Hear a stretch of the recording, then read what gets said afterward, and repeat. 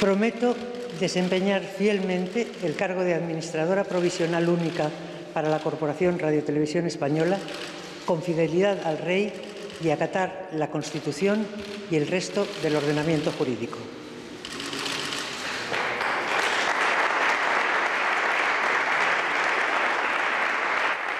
Una vez más, vamos a perseguir un sueño, el de conseguir una radio-televisión pública, plural e independiente.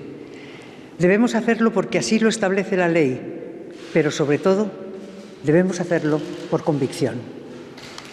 En el tiempo que dure mi mandato quiero conseguir, o al menos poner los cimientos, para que Radio Televisión Española se convierta en una empresa de la que se sientan orgullosos nuestros conciudadanos, sean cuales sean sus ideas políticas o sus creencias religiosas.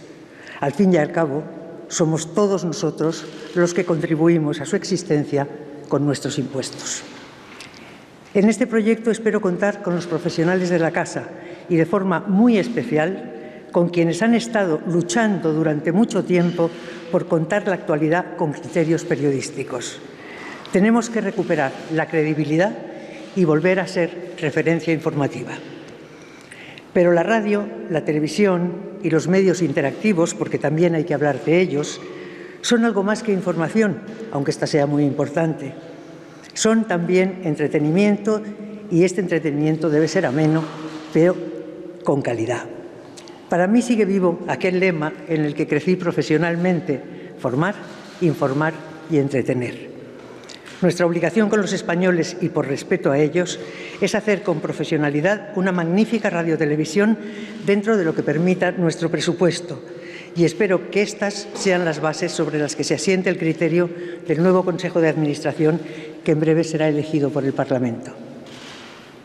Como les decía al principio, vamos a perseguir un sueño.